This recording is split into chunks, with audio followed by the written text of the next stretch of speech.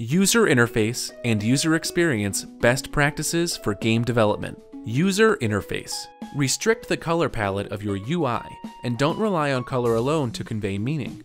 If your UI is too busy, it can be hard for the player to interpret when things are getting intense, or it might take longer than desired for a player to look at and interpret information. There are a lot of ways to test if you're relying too much on the color, but viewing the UI in grayscale is a simple and quick method to see how you're doing. Use other methods such as size, contrast, shape, orientation, and text to convey meaning beyond just color.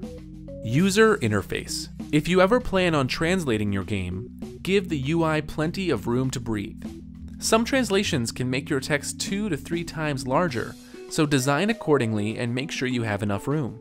Also, keep in mind that left to right won't always be the way your text is read.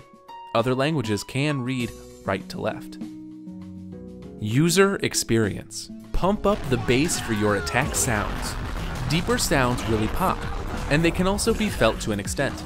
This is a subtle yet important element to making combat satisfying, so don't overdo it or try to force it into a game where it doesn't fit.